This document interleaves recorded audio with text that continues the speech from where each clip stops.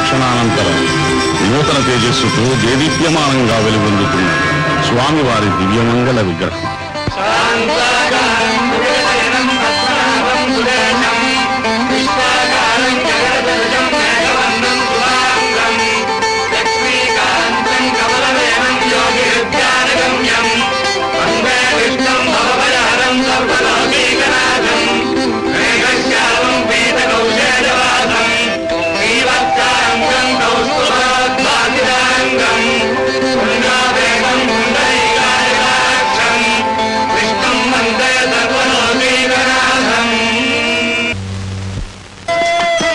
శుక్రవారాభిషేకానికై పచ్చ కర్పూరము కుంకుమ పువ్వు చందనము కస్తూరి పురుగు తైలము మొదలగు పరిమళ ద్రవ్యాల్ని సిద్ధం చేస్తున్నారు.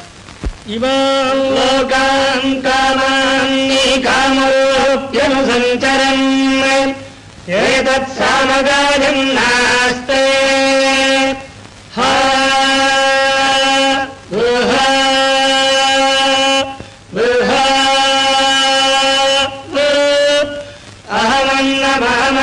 अहमन्नम् अहमन्नादो ओहमन्नादो ओहमन्नादः अहग्रिष्ट्वा गहृदः ग्रष्ट्वा गहृदः ग्रेष्टा गहृद अहमस्मि प्रथमजाहृतस्य पूर्वम् देवेभ्यो अमृतस्य न भा यो वाह। अहमन्नमन्नभदम् तवामि अहम् विश्वम् भुवनमभ्यभवान् सुवर्णज्योतिः। य एवम् वेद इत्युपनिषदे।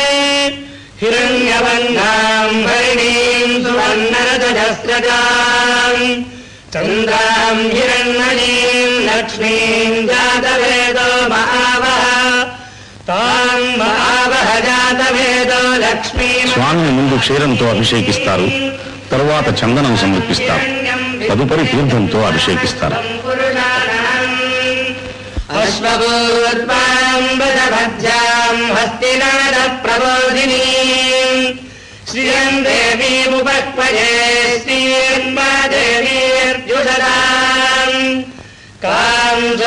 स्मिताम् हिरण्य प्राकारमाद्राम् ज्वलन्तीम् त्रिभृताम् तत्पयन्तीम् पद्मे स्थिताम् पद्मवन्नाम् साभिमोपष्परे स्थिरम् चन्द्राम् प्रभासाय जा परन्तीम् स्थिरम् लोके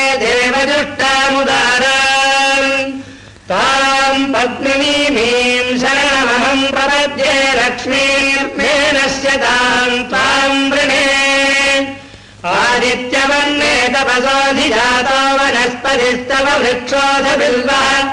तस्य फलानि तपसानुदन्तु भागान्तराजाश्च लक्ष्मीः। कीर्तिश्च मणिना। महादेव्यै च विद्महे विष्णुपत्नी च धीमहि।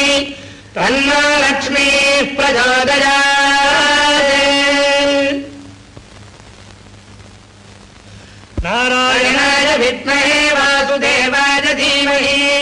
तन्नो विष्णुः प्रचोदयात् धनुर्धरायै विद्महे सर्वसिद्ध्यै च धीमहि। तन्नो धरा प्रचोदयात्